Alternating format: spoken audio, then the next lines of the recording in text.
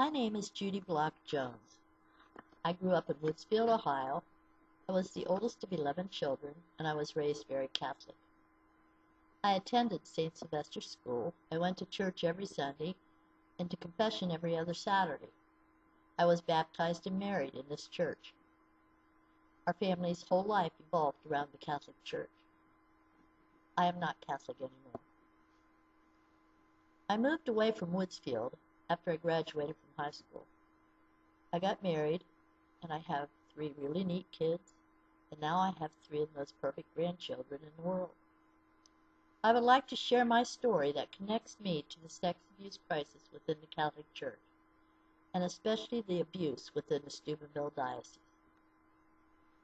About 20 years ago, I learned that a close family member had been sexually abused by Father Robert A. Brown.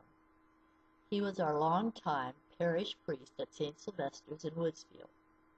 I later learned that several of my relatives were also sexually abused by this priest. After learning this, I was shocked, hurt, angry, sad, confused, but mostly angry. I couldn't stop thinking about it. And I wondered, why would Father Brown do such an awful thing, especially to those whom I love? I had many questions, and I had a hard time finding answers. No one seemed to care to talk about it. In the year 2002, when all the news came out about priests abusing kids, I couldn't stop reading and learning. I desperately searched for information about this issue. While I was watching the news one day, I noticed that there was an organization called SNAP. They were advocates and supporters of victims who had been sexually abused by priests. Somehow I got in touch with them, and I became involved with SNAP. I became the Steubenville SNAP leader in the late 2003.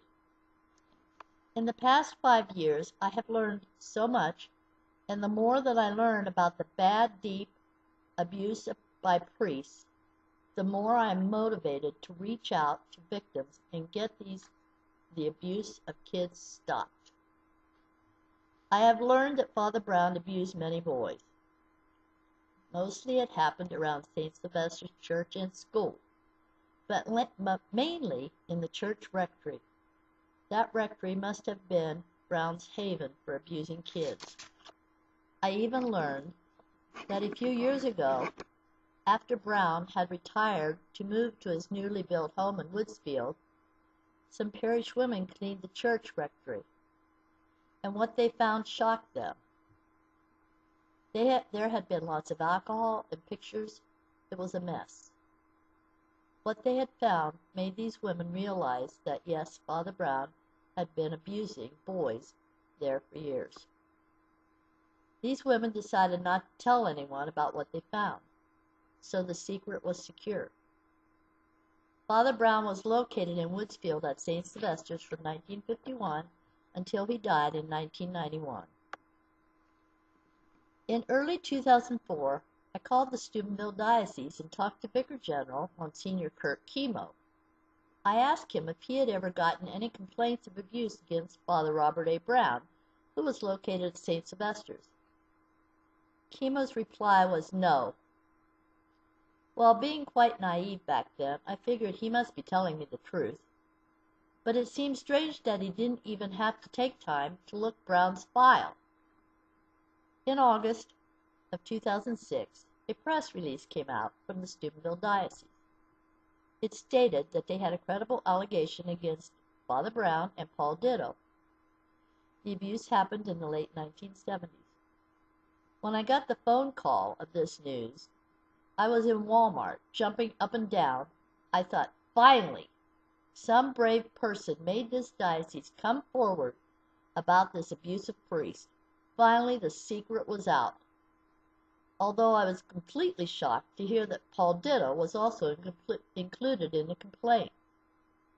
But now that I realize it, Ditto was around the church and school the whole time that I was there, and Brown's new retirement home was built right across the street from Ditto. What a setup.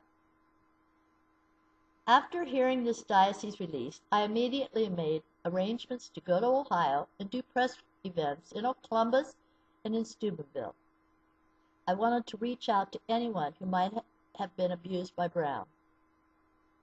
This is when I learned the hard truth about this diocese and how they cover up the abuse of kids.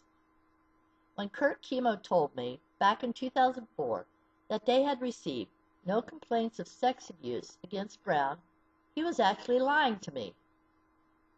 I have learned that yes, there were complaints about Brown even before my call to Kemo in 2004. At this point in my work with survivors, I do not trust Bishop Conlon or any of the church leaders of this diocese. But something really good has come out of this work that I do with SNAP. I have met some of the most sincere, authentic, dear people, the survivors and family members who have suffered dearly because of this Steubenville Diocese abuse mess. They are terrific people. This diocese and all who are part of it is trying real hard to keep this dirt, their dirty secrets hidden. But that is not possible for them to do anymore. More survivors are coming forward and breaking their silence and getting help and not feeling alone. The secrets are being exposed one at a time. This sex abuse by Brown has reached deep in my heart and soul. He became a master at grooming kids to be his prey. He was a master at befriending family members and fooling the whole town of Woodsfield. He was good at what he did, and I'm not talking about being a good priest. He has a 50 year history of abuse. I can't even imagine how many kids were harmed by him. But I do believe the number is very high. The stories that I've heard are heartbreaking. It has also affected even a wider range than just his victims. It has affected family members and loyal parishioners who believe that this priest was God Almighty. The deceit and betrayal is the hardest to accept. And now that I have learned that there are so many priests all over the world who commit these awful crimes against kids, I will never stop reaching out to all who have been sexually abused by the Catholic clergy and leaders and I will never stop working to expose every single perpetrator who has ever been assigned in this diocese. I can't. I believe that the corruption within this diocese will be exposed, and that the survivors will be free from hurt, and that kids and adults will be safe from this terrible crime of cover up of sexual abuse. Thanks for listening. Goodbye.